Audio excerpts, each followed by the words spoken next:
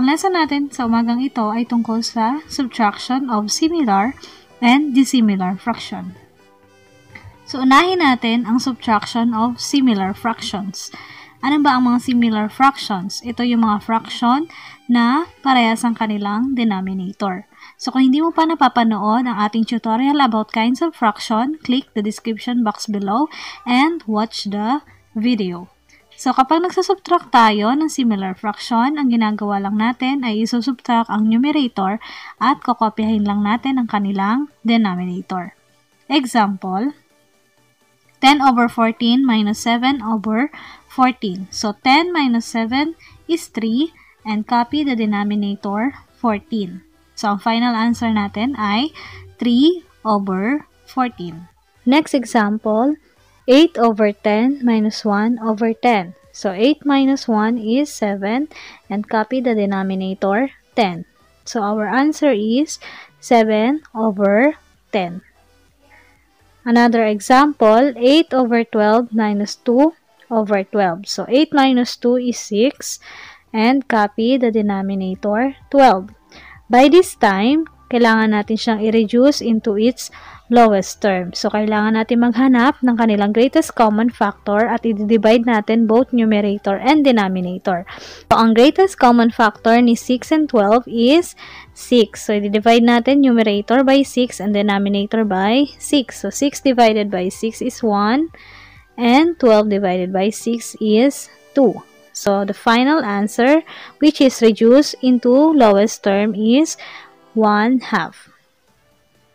Another, 13 over 20 minus 5 over 20. So, minus natin yung numerator. 13 minus 5 is 8. And copy the denominator, 20. Again, i-reduce natin siya into lowest term. So, ang GCF ni 8 and 20 is 4. 8 divided by 4 is 2. And 20 divided by 4 is 5. So, our answer, which is reduced into the lowest term is 2 over 5.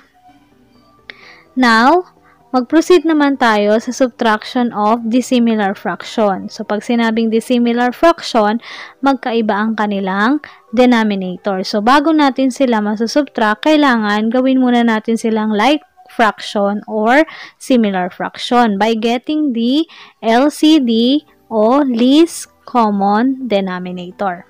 Example, 4 minus 5 minus 2 over 3. So, ang kanilang denominator ay magkaiba. So, kailangan nating humanap ng kanilang least common denominator. So, lista muna natin ang table 5 and 3.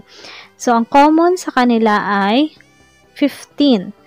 Yan yung pinaka maliit na number or least number na common sa kanilang dalawa. So, yan ang gagawin nating denominator.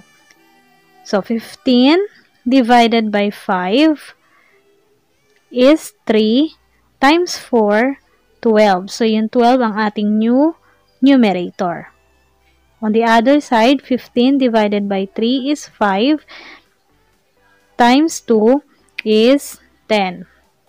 So, ang bago nating fraction is 12 over 15 minus 10 over 15. So, 12 minus 10 is 2 and then copy the denominator 15. So, yan ay naka-reduce na in lowest term. So, ito na ang ating final answer.